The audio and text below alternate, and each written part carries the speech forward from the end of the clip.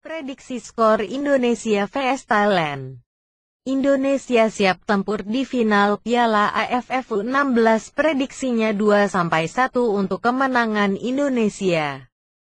Tim nasional Indonesia U16 sudah menyiapkan kondisi fisik 23 pemainnya pada latihan sore di Stadion Jenggolo, Jumat, 10 per 8, guna menghadapi Thailand di pertandingan puncak babak final. Piala AFF U16 Mereka berlatih pemulihan kondisi fisik para pemainnya usai menjalani laga semifinal melawan Malaysia. Latihan mereka berjalan dengan lancar dan pemain terlihat serius. Berbagai menu latihan dilahap oleh David Maulana dan kawan-kawan. Termasuk juga latihan tendangan dari titik putih ke gawang lawan.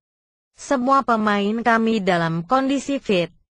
Kami semua berlatih sore ini dengan materi yang sama seperti latihan-latihan sebelumnya. Kami siapkan semua skenario yang bisa saja terjadi di lapangan saat final dalam latihan sore. Ini, termasuk juga pemulihan fisik dan stamina pemain. Alhamdulillah saya senang mereka bisa pulih lebih cepat. Jelasnya.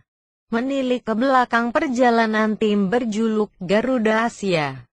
Dalam ajang ini mereka tampil sangat impresif. Di fase grup mereka tak terkalahkan. Laga pembuka melawan Filipina, mereka langsung tancap gas dengan menghancurkan mereka 8-0. Lalu kedua mengalahkan Myanmar 2-1, Vietnam dengan skor 4-2, Timor Leste 3-0 dan Kamboja 4-0. Laga semifinal, mereka bertemu Malaysia. Lawan pun harus juga menyicipi kekalahan lewat gol tunggal penalti dari Amiruddin Bagus di menit ke-72. Usai itu, mereka pun berhak bermain di partai final melawan Thailand. Kami sudah pernah bertemu dengan Thailand sebelumnya. Kami juga sudah mengintip mereka bertanding dan menganalisa permainan mereka. Saya melihat materi pemain yang mereka bawa juga tidak banyak berubah. Seperti saat di kualifikasi Piala AFC U16 tahun lalu di Thailand.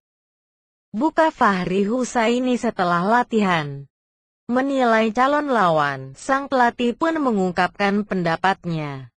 Thailand tim kuat, meski dengan pelatih baru saat ini, sebelumnya Salvatore Valero.